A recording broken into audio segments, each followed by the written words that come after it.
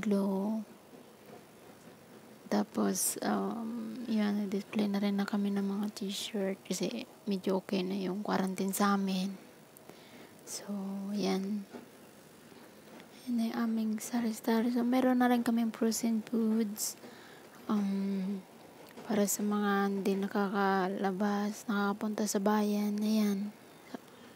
Palengke. Palengke whole chicken, chicken wing, may mga fruits na rin kami, mangga, per kilo. Yan, masarap siya, matamis. Tsaka, ayun, may delivery na kami rin na ice cream. Medyo matagal na rin hindi sila nag-deliver.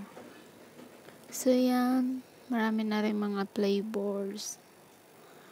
Ice cream, tamang-tama ngayon tag-init. Yan. Tsaka meron kami mga sausage. Yan. Hot dog.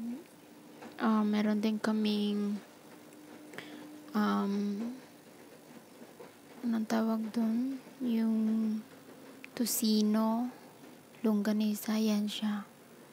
Binigyan kami ng tarpaulin ng ahente. Yan, premium hotdog, longganisa, tusino, hotdog. Yan, meron kami frozen po.